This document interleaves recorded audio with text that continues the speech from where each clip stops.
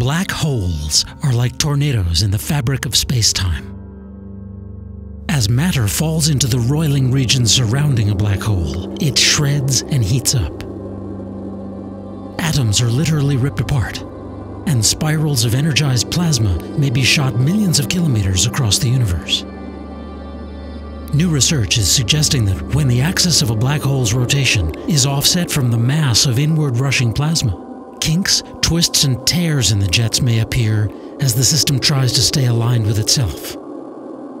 As these effects play out across the sky, scientists may be able to investigate some of the more subtle implications of Albert Einstein's theory of general relativity. For Space.com, I'm Dave Brody.